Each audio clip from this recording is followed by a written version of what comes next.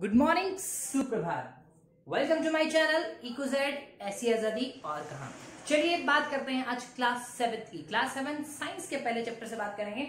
और साइंस का पहला चैप्टर है nutrition in plants nutrition in plants में आज हम कौन कौन से टॉपिक्स पढ़ने वाले हैं, पहले उसके बारे में डिस्कस कर लेते हैं, फिर बात करेंगे न्यूट्रिशन क्या होता है उसके बारे में। चलिए बात करते हैं, आज हम जो पढ़ने वाले हैं, उसमें पहला टॉपिक होगा न्यूट्रिशन उसके बाद होगा न्यूट्रिएंट्स न्यूट्रिएंट्स के बाद आएगा मोड ऑफ़ न्यूट्रिशन कौन कौन से हो सकते हैं प्लांट्स में, इसमें ऑटोट्रॉफिक हेटरोट्रॉफिक दो हो सकते हैं।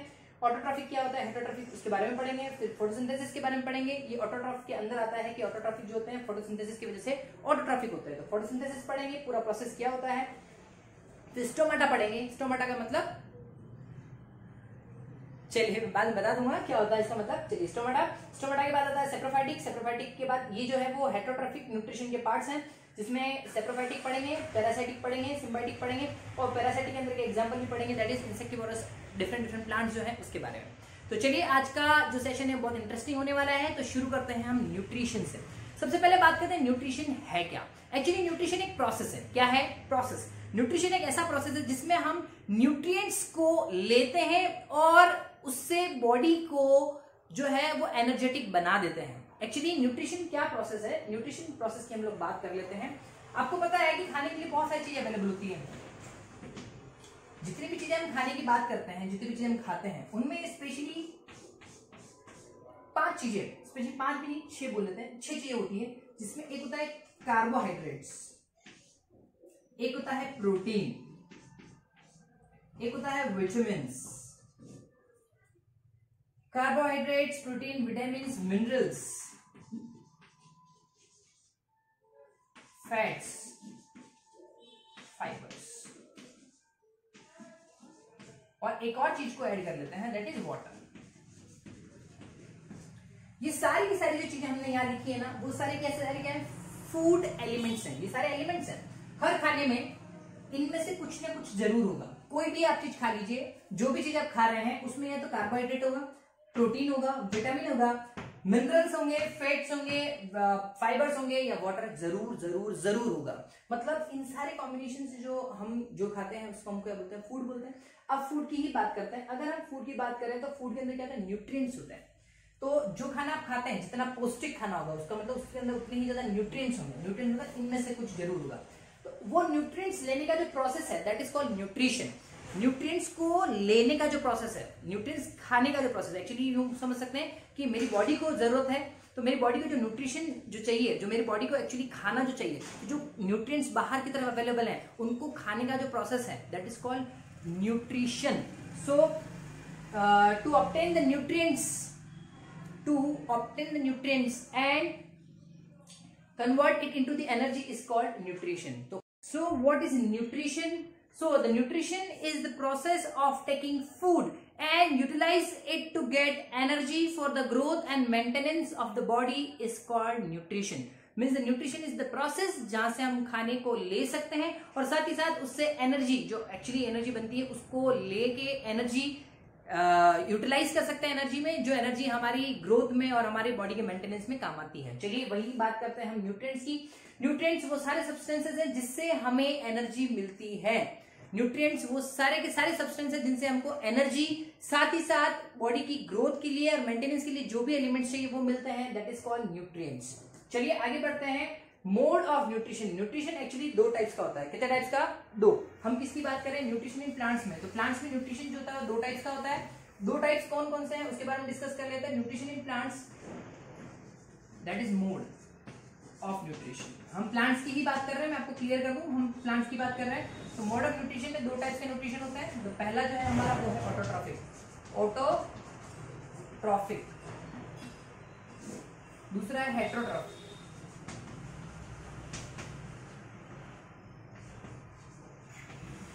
ऑटोट्रॉफिक न्यूट्रिशन क्या होता है? ऑटोट्रॉफिक न्यूट्रिशन वो न्यूट्रिशन होता है जिसमें जो भी इसको बनाने वाला है, इस न्यूट्रिशन को जो भी बनाने वाला है, स्पेशली फ़ूड की बात कर रहे हैं तो इसमें जो न्यूट्रिएंट्स हैं, वो खुद ही प्रिपेयर किए जाते हैं। इसके लिए ये किसी और पर डिपेंडेंट नहीं होते। इसका मतलब ये है कि जहाँ पर जो लिविंग बींग्स हैं, वो अपना खाना खुद से प्रिपेयर कर ले न्यूट्रिशन के लिए या न्यूट्रिएंट्स के लिए किसी और के ऊपर, किसी और लिविंग बींग के ऊपर डिपेंड ना हो। और खुद ही अपना न्यूट्रिशन का सारा प्रोसेस और न्यूट्रिएंट्स बनाने का जो प्रोसेस है, खुद ही कंप्लीट कर ले। That is called autotrophic nutrition वहीं दूसरी तरफ़ वाला हेटोट्रॉफिक न्यूट्रिशन जो खाने के लिए या न्यूट्रिएंट्स के लिए किसी और पे डिपेंडेंट हो, उनको बोलते हैं हेटोट्रॉफिक न्यूट्रिशन या इस तरह का न्यूट्रिशन जो होता है, वो कहलाता है हेटोट्रॉफिक न्यूट्रिशन मतलब जो अपने लिए खुद खाना बना ले जो न्यूट्रिएंट्स अपने जो न्यूट्रिएंट्स जो न्यूट्रिएंट्स उनको चाहिए, वो न्यूट्रिएंट्स अगर अपने खुद बना ले तो उसको क्या बोलते हैं? ऑटोट्रॉफिक जबकि जो अपने खाने को खुद नहीं बना सकते, या फिर खाने के लिए किसी और पर डिपेंड करते हैं, उसको बोलते हैं हेटोट्रॉफिक न्यूट्रिशन चलिए, अब बात करते हैं ऑटोट्रॉफिक न्यूट्रिशन के बारे में कि ऑटोट्रॉफिक न्यूट्रिशन एक्चुअली है क्या? और कौन इसको परफॉर्म कर सकता है? तो चलिए ऑटोट्रॉफिक न्यूट्रिशन के बारे में डिस्कस कर ले। तो ये ऑटोट्रॉफिक ऑटोट्रॉफिक न्यूट्रिशन स्पेशली करते हैं प्लांट्स और प्लांट्स में भी not only plants that is green plants specially green plants जिसके अंदर फोटोसिंथेसिस का प्रोसेस हो पाए। और फोटोसिंथेसिस प्रोसेस क्या है? ग्रीन प्लांट्स एक्चुअली अपना खाना खुद बना लेते हैं। ग्रीन प्लांट्स अपना खाना खुद बनाते हैं। दैट्स इनको हम लोग क्या बोलते हैं? ऑटोट्रॉफिक न्यूट्रिशन की बात करते हैं। ये ऑटोट्रॉफ्स होता है। इसके लिए हम लोग क्या पढ़ेंगे? एक प्रोसेस पढ़ेंगे। फोटोसिंथेसिस चलिए फोटोसिंथेसिस के लिए छोटा सा कंसेप्ट लेते हैं। This is called green leave ये हमारी एक लीफ है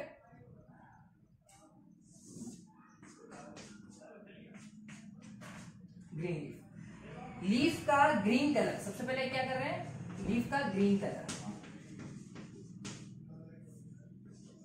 ग्रीन कलर जिसको बोलते हैं क्लोरोफिल क्या बोलते हैं? क्लोरो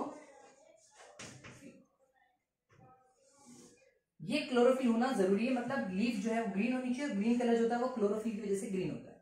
चलिए, अब ये जो लीफ है, उसमें क्या होता है? मिनरल्स और वाटर ये दोनों रूट्स जो चीज़ ऑप्टेन करते हैं रूट्स जो होते हैं, आपको पता होगा प्लांट में रूट्स जो होती है, वो क्या करती है? मिनरल्स और वाटर का ऑब्ज़र्व करती है और लीफ तक पहुँचा देती है। तो मिनरल्स और वाटर आपके पास अवेलेबल है क्लोरोफिल ऑलरेडी लीफ के अंदर है। बाहर क्या होता है?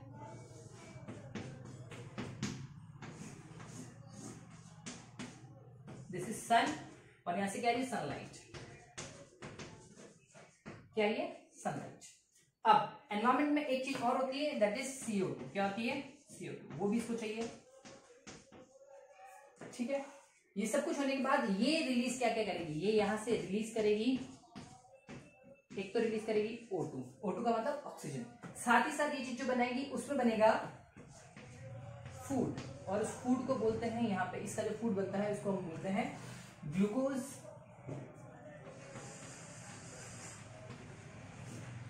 वैसे इसके तीन चार पार्ट्स हो सकते हैं बट स्टिल हम इसको ग्लूकोज में कन्वर्ट कर लेते हैं।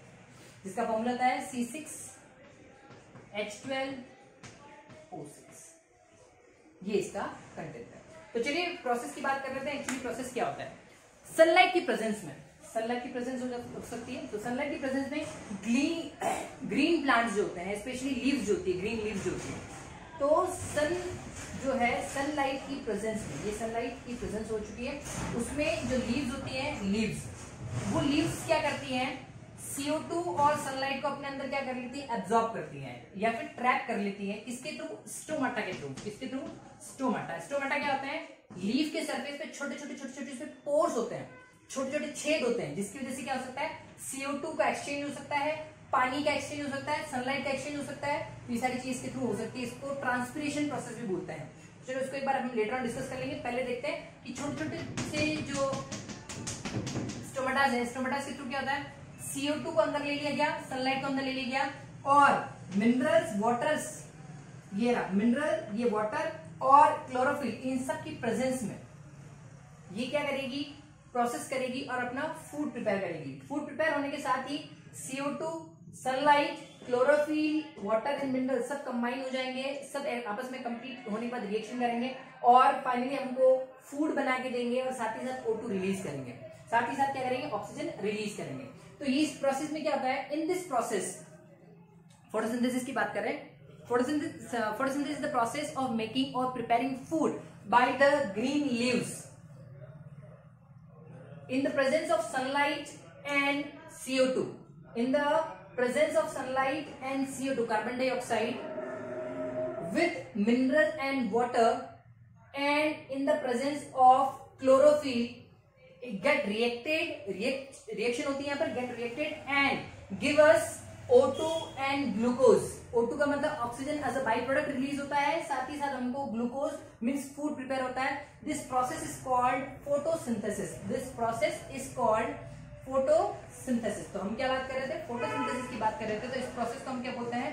फोटोसिंथेसिस इसमें क्या होता है? हरी हरी जो पत्तियाँ आती है, वो क्लोरोफिल की वजह से सनलाइट और सीओ की प्रेजेंस को इन दोनों को ट्रैक कर लेती है। साथ ही साथ मिनरल्स और वाटर का यूज़ करते हुए अपना खाना प्रिपेयर कर लेती है, जो किसकी मदद से हो रहा था स्टोमाटा की हेल्प से सारा काम हो रहा होता है लीफ के अंदर। इससे ओटू रिलीज़ होती है और खाना बनके मतलब ग्लूकोज फ्रुक्टोज और शुक्रोज की फॉर्म में रिलीज़ होता है इसको बोलते हैं पूरे प्रोसेस को फोटोसिंथेसिस मतलब प्लांट्स के खाना बनाने के प्रोसेस को हम फोटोसिंथेसिस बोलते हैं, जिसमें इन सब चीज़ों की ज़रूरत होती है।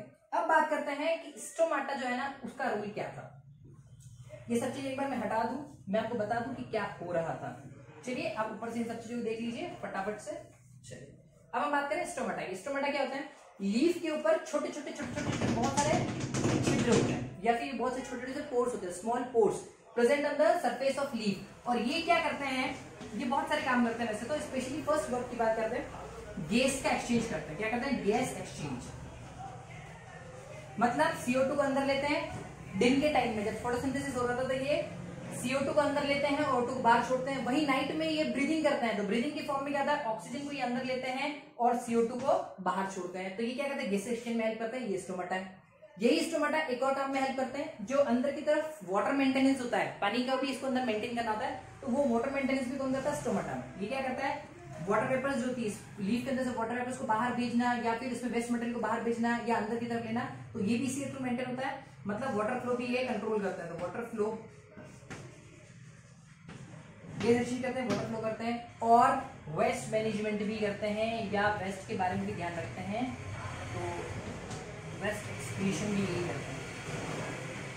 इन तीन प्रोसेस की वजह से ये तीनों प्रोसेस जो है, उसके लिए क्या बोलते हैं स्टोमेटा का यूज़ होता है और इस प्रोसेस को, जिसकी वजह से ये सारी चीज़ें करते हैं एक्सचेंज करने में और मेंटेन करने में, इसकी जो लीफ है, उसकी सरफेस को या फिर इसमें वाटर मेंटेन करने को या गैसेज एक्सचेंज करने की जो प्रोसेस है, उसको बोलते हैं ट्रांसपिरेशन ट्रांसपीरेशन। ये सब चीज़ें ये स्टोमाटा मेंटेन करते हैं और स्टोमाटा लीफ के लिए बहुत इंपॉर्टेंट पार्ट हो जाता है। तो ये था हमारा फोटोसिंथेसिस वाला कंसेप्ट अब फोटोसिंथेसिस कंसेप्ट के साथ ही हम एक चीज़ और देखते हैं। ये है रिएक्शन जो फोटोसिंथेसिस में कंप्लीट होती है। उसमें कार्बन डाइऑक्साइड वाटर दोनों मिक्स होते हैं सनलाइट और क्लोरोफिल की प्रेजेंस में। कार्बोहाइड्रेट बनता है, प्लस ऑक्सीजन रिलीज़ होती है, जो एज अ बाई प्रोडक्ट होती है। कार्बोहाइड्रेट को बाद में स्टार्च में कन्वर्ट कर लिया जाता है, या फिर वो ही अपनी चीज़ों को क्या करते हैं स्टार्च में कन्वर्ट कर लेती है। सिर्फ़ कार्बोहाइड्रेट मिलता है, ऐसा नहीं है। उसको प्रोटीन्स और फैट्स भी बनते हैं। ये कार्बोहाइड्रेट तो बनेगा जब कार्बन ऑक्सीजन और हाइड्रोजन मिलेंगे। एच का मतलब हाइड्रोजन ओ का मतलब ऑक्सीजन और सी का मतलब कार्बन होता है। तो ये तीनों चीज़ें जब मिलती हैं, तब ये कार्बोहाइड्रेट्स बनाता है। पर कभी कभी आपने सुना होगा कि अंदर N2 भी ऐड हो जाती है।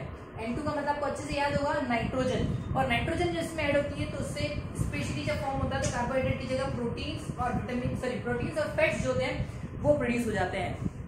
तो आप याद रखिएगा कि सिर्फ़ कार्बोहाइड्रेट नहीं बनता है, उसके साथ साथ प्रोटीन्स और फैट्स भी बनता है। जब प्रोटीन्स और फैट्स बनता है तो उसमें नाइट्रोजन ऐड हो जाती है। तो जब भी कार्बन डाइऑक्साइड और हाइड्रोजन के बीच में नाइट्रोजन भी ऐड हो जाएगी तो उस केस में ये प्रोटीन्स और फैट्स बनाएँगे। अदरवाइज़ मोस्ट ऑफ़ जो है वो क्या बनाते हैं? कार्बोहाइड्रेट्स बनाते हैं। चलिए आगे बढ़ते हैं। क्या ग्रीन कलर की लीव्स ही फोटोसिंथेसिस करती हैं? उसके अलावा किसी और कलर की पत्तियाँ भी आपने देखी हुई, कभी पीली हो जाती है, कभी लाल हो जाती है, कभी ब्राउन कलर की भी लीव्स होती हैं। क्या वो फोटोसिंथेसिस नहीं करती? ऐसा नहीं है। फोटोसिंथेसिस वो भी करती हैं। इवन अलग अलग कलर्स की जो पत्तियाँ होती है, वो भी फोटोसिंथेसिस करती है। बट ग्रीन कलर की लीव जितना नहीं कर पाती, उतना एफिशिएंटली वर्क नहीं कर पाती है। पर फोटोसिंथेसिस वो भी करती है, वो भी अपना खाना बनाती है और वो भी अपने खाने को उसी तरीके से प्रोसेस करती है, जैसे ग्रीन लीव्स करती है। बट उनका जो एफिशिएंसी होता है, उनका जो रेट होता है फोटोसिंथेसिस का, वो थोड़ा सा कम हो जाता है। तो याद रखिए ग्रीन कलर की लीव्स नहीं होने के बावजूद, अलग अलग कलर की लीव्स होने के साथ ही वो फोटोसिंथेसिस करती हैं और बाकी सारा प्रोसेस भी वैसे ही करती हैं। बट उसमें रेट ऑफ़ फोटोसिंथेसिस जो होता है, वो थोड़ा सा कम हो जाता है। चलिए हमने नीचे की तरफ़ बनाया है स्टोमाटा का स्ट्रक्चर स्टोमाटा का स्ट्रक्चर जो है उसमें मिडल में होता है स्टोमेटल ओपनिंग मतलब बीच में स्टोमेटा यहाँ से ओपन होता है और क्लोज होता है। उसके जस्ट बाहर की तरफ़ एक कवरिंग कर रखी है, उसको बोलते हैं गार्ड सेल्स तो याद रखिए, ये जो स्टोमाटा है, वो लीफ के लिए गार्ड सेल का काम भी करते हैं और ये लीफ को हर चीज़ से बचाने की कोशिश करते हैं। टेम्परेचर से और उसके अलावा होने वाले जितने भी हार्मफुल इफेक्ट्स है, उससे ये इसको बचाने की कोशिश करते हैं। दैट्स वाई स्टोमाटास जो है, उनको हम लोग गार्ड सेल भी बोलते हैं। चलिए, अब आगे बढ़ते हैं और बात करते हैं इसके टेस्ट के बारे में। आप फोटोसिंथेसिस जो है उसका टेस्ट कर सकते हैं और उसके लिए टेस्ट जो होता है, उसको बोलते हैं आयोडीन टेस्ट क्या होता है?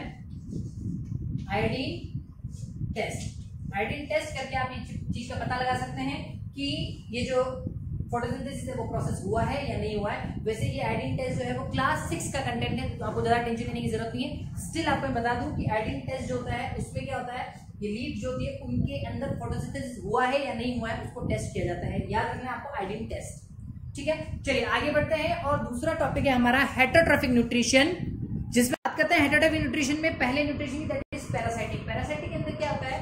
इसमें दो चीज़ें इंपॉर्टेंट होती है हॉस्ट और गेस्ट वाला कंसेप्ट आपको याद होगा हॉस्ट और गेस्ट गेस्ट मतलब मेहमान और हॉस्ट मतलब जो मेजबान होता है, जो उसकी मेहमान नवाजी करने वाला है।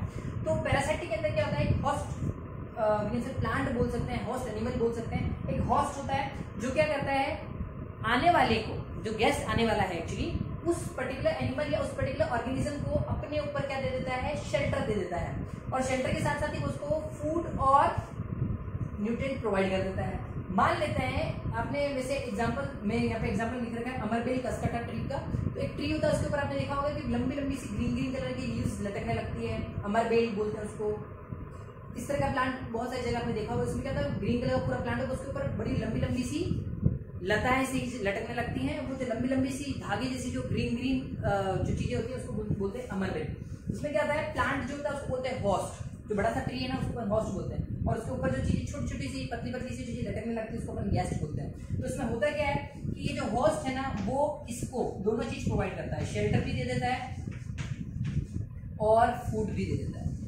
तो ये जो है, इसके ऊपर पूरी तरह से डिपेंडेंट है for food and shelter both और इस तरह के प्रोसेस को या इस तरीके की न्यूट्रिशन प्रोसेस को अपन बोलते हैं पैरासाइटिक जिसमें एक लिविंग बींग जो है, वो दूसरे लिविंग बींग पे कंप्लीटली डिपेंड होता है स्पेशली बॉस पे पूरी तरह से डिपेंड होता है खाने और जीने के लिए। That is called parasitic nutrition इसका एग्जांपल है अमरबेला कैस्केटा चलिए, ये वाला कंप्लीट होने के बाद दूसरे पे चलते हैं और दूसरा है हमारा टॉपिक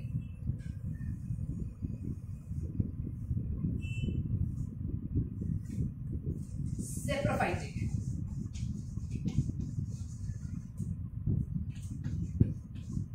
सेप्रोफाइटिक न्यूट्रिशन क्या है? Saprophytic nutrition is the nutrition in which जो ऑर्गेनिज्म है which is dependent on dead and decaying material जहाँ जो भी एनिमल है या जो भी ऑर्गेनिज्म है स्पेशली एनिमल या ऑर्गेनिज्म की बात करें हम लोग एनिमल या ऑर्गेनिज्म जो भी है, वो completely dependent on, completely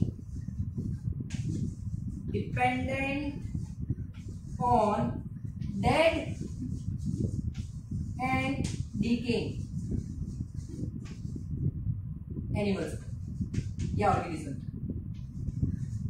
मतलब जहाँ पे जो ऑर्गेनिजम्स हैं, वो मरी हुई चीज़ों के ऊपर या सड़ी हुई चीज़ों के ऊपर ज़िंदा रहते हैं, उनको बोलते हैं डेड एंड डिकेइंग मटेरियल्स के ऊपर ज़िंदा रहना और इस तरह का जो न्यूट्रिशन होता है, उसको बोलते हैं सेप्रोफाइटिक न्यूट्रिशन स्पेशली इस तरह का न्यूट्रिशन जो है ना, वो आपको देखने को मिलेगा. वल्चर्स जो होते हैं वल्चर्स आपको याद होगा गिद्ध जो होते हैं वल्चर्स वल्चर्स हो गया। इसके अलावा बहुत सारे बैक्टीरियाज होते हैं, या बहुत सारी डिकम्पोजर्स होते हैं, वो सारे सेप्रोफाइटिक के अंदर चले जाते हैं। तो ये सेप्रोफाइटिक न्यूट्रिशन क्या होता है? जिसमें जो एनिमल्स या ऑर्गेनिजम्स जो होते हैं, वो मरे हुए जानवरों के ऊपर या सड़ी गली चीज़ों के ऊपर ज़िंदा रहते हैं, या फिर मरे हुए, सड़ी गली चीज़ें उनसे अपने खाने का बंदोबस्त करते हैं, या उनके फ़ूड के लिए उनके ऊपर डिपेंडेंट रहते हैं। इस तरह की जो चीज़ें न्यूट्रिशन होता है, बोलते हैं सेप्रोफाइटिक न्यूट्रिशन और ये जो सेप्रोफाइटिक न्यूट्रिशन है, वो वल्चर्स एक बेस्ट एग्जांपल है, उसको आप अच्छे से याद रखें. हाइनास भी इसका एग्जांपल हो सकता है, जो मरे हुए जानवरों के ऊपर ज़िंदा रहते हैं. This is concept of saprophytic nutrition आगे बढ़ते हैं, तीसरे टाइप का जो न्यूट्रिशन है, उसमें है सिम्बायोटिक क्या है? सिम्बायोटिक सिंबाइटिक के अंदर क्या होता है? दोनों म्यूचुअल अंडरस्टैंडिंग के थ्रू सिंबाइटिक की हम लोग बात कर रहे हैं? सिंबाइटिक और सिंबाइटिक रिलेशनशिप बोल सकते हैं या सिंबाइटिक न्यूट्रिशन बोल सकते हैं? न्यूट्रिशन इसमें क्या होता है? दो लोग हैं। एक दूसरे को शेल्टर प्रोवाइड करता है और ये इसको फ़ूड प्रोवाइड कर देता है। एक्चुअली है क्या?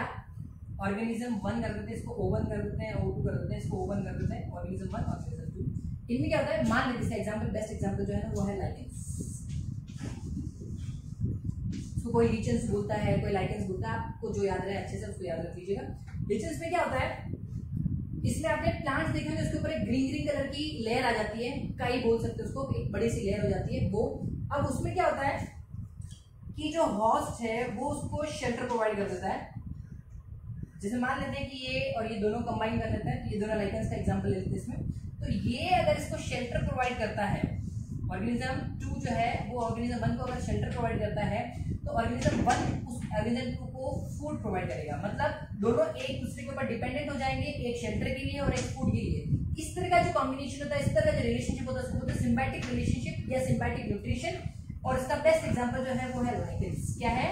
लाइकेंस जिसमें दोनों ही ऑर्गेनिज्म एक दूसरे के ऊपर डिपेंडेंट होते हैं, एक शेल्टर के लिए और दूसरा फ़ूड के लिए। तो इस तरह का जो कंसेप्ट होता है, इस तरह का जो न्यूट्रिशन होता है, उसको हम बोलते हैं सिम्बायोटिक रिलेशनशिप या सिम्बायोटिक न्यूट्रिशन इन सब के बाद एक और छोटा सा टॉपिक है, वो देख लेते हैं, वो है इंसेक्टिवोरस प्लांट्स इंसेक्टिवोरस ऐसे प्लांट जो कीड़े मकोड़ों को खाते हैं। इंसेक्टिवोरस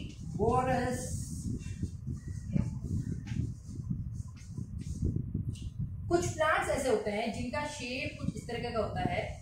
शेप का it's not compulsory but shape होता है और उसके ऊपर क्या होता है? ये जो शेप है उसका शेप के ऊपर एक ढक्कन लाइक स्ट्रक्चर होता है। क्या होता है? ढक्कन लाइक स्ट्रक्चर इसमें क्या होता है?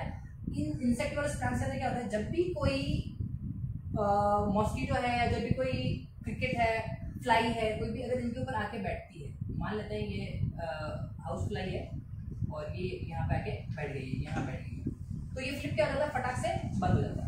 और इसके अंदर क्या होता है, हल्का सा पॉइजन होता है, इस पॉइजन को खा के या इस पॉइजन की वजह से ये जो अंदर इंसेक्ट गया है, वो मर जाता है और फिर इसको खा लेता है। तो इस तरह के जो प्लांट्स होते हैं, इन तरह इस तरह के प्लांट्स को हम लोग क्या बोलते हैं?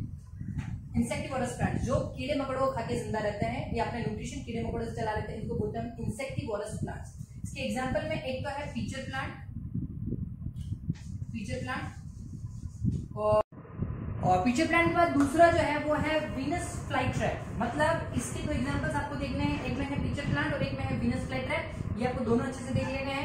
साथ ही साथ आपको एक छोटा सा क्विक रिविजन करा देते हैं। हमने सबसे पहले पढ़ा था न्यूट्रिशन फिर आया था nutrients autotrophic heterotrophic photosynthesis stomata stomata के साथ हमने ट्रांसपिरेशन पढ़ा था।